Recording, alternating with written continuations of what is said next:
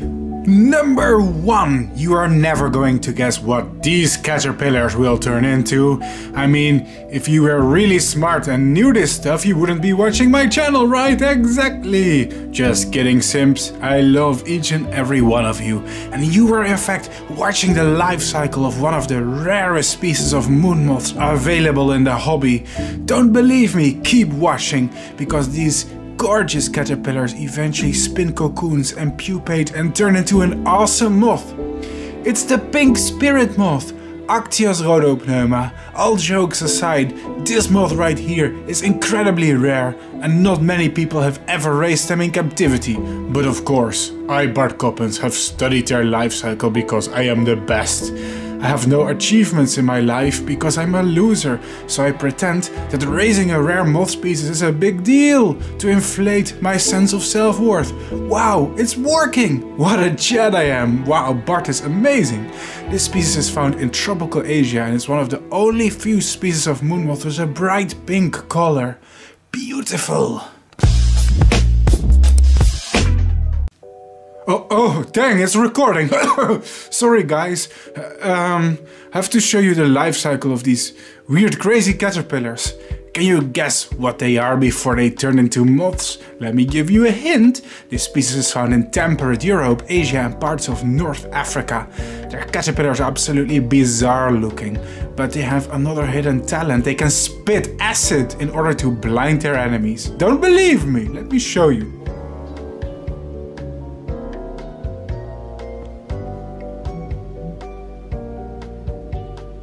Oh my god. Believe it or not, that was acid spray. They can point it at your eyes in order to blind you. And then they spin tough cocoons and hibernate, only for next spring to transform into Cerura vinula, also known as the puss moth. These moths are often said to be one of the world's cutest moth species and are celebrated by the internet. They only have a short lifespan, unfortunately. This is going to be an insane and crazy life cycle of a moth that comes from tropical Africa. Africa has some mysterious giant moth species and we like to document all their life cycles for science and education. Yay! And trust me, we need education. Without education, you would struggle. Otherwise, you will grow up to become an influencer, possibly the worst nightmare that exists. Please don't try to be a YouTuber, a TikToker, or an Instagrammer. All it takes is views, a few likes, a few subscribers to convince you that you are some kind of micro celebrity, just to make sure you never leave their website and keep uploading thousands of videos for very little financial gain. Oh well, joke's on me. When the caterpillars grow up, they eventually pupate and from the pupa moth's hatch, they become the golden African emperor, Nudaurelia dione. These tropical African moths are incredibly gorgeous. Not many people think about moths, sadly, but they are actually beautiful, important, complex and extremely underrated animals. That's why I started this YouTube channel. Hopefully one day more people will realize that moths deserve respect, deserve conservation, deserve to exist and deserve to receive attention. This is something no one else has filmed before. Because no one really cares, honestly. it's not that special. I mean, if the life cycle of a moth was less important, more competent people would have filmed it instead. but they haven't, if you think about it. I'm constantly farming breadcrumbs and scraps and marketing them as more important than they are. My life is empty. Incredibly empty and lonely. When these caterpillars from tropical, tropical Africa grow up, they become quite fierce. They are also known as cobra caterpillars because they can strike you with a row of sharp spines on their back. These guys are very aggressive. Let me show you what happens if I poke it. Poke, ow! Ow! It's attacking me with these red hairs. I don't know if you can see it, but those red hairs here are actually spines. Can you see it? They're like splinters. And if we touch the caterpillar, boom! It's just going to try, ow, attack us like a cobra. Man, they're ferocious. Ow!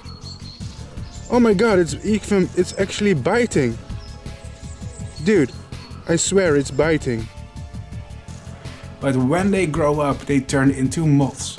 This is the African leopard moth known as Gelada imitans. And their camouflage is very unique. They remind me of a dead leaf or a stick. In the vegetation there is no doubt that they are hard to spot.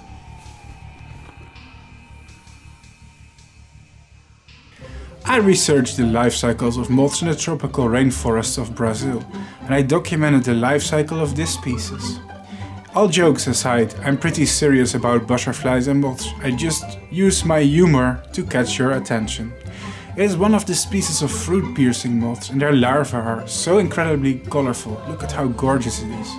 I found the caterpillars of this species on Annona, also known as sugar apple. I was super happy to find this super beautiful species right here, and I raised it into a moth. Can you guess what kind of moth it will evolve into? Wow, it's a mini species of fruit-piercing moth.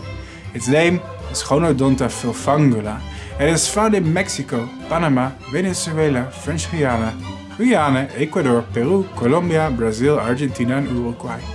How absolutely beautiful. Thank you for watching babe. Now subscribe for more. I made thousands of moth videos that you can enjoy for free on my channel to learn about these animals. Goodbye!